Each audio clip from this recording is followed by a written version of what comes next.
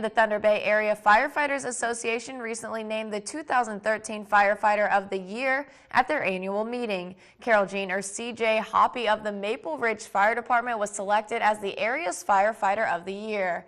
She has been with the department for 15 years now, working as a volunteer firefighter, EMT, and department secretary. She also founded the Maple Ridge Auxiliary, which provides fundraising and support for the department and the community.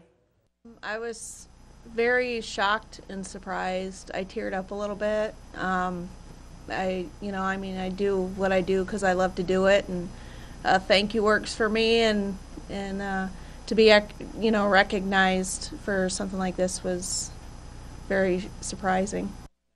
Two other individuals were honored for exceptional service. Captain Robert Kajabuski was given the Lifetime Achievement Award honoring his 29 years with the Alpena Township Fire Department, and Chief Ralph Klotz of the Alcona Township Fire Department was given the President's Award for his extraordinary service to the association. The Thunder Bay Area Firefighters Association is comprised of 18 different departments.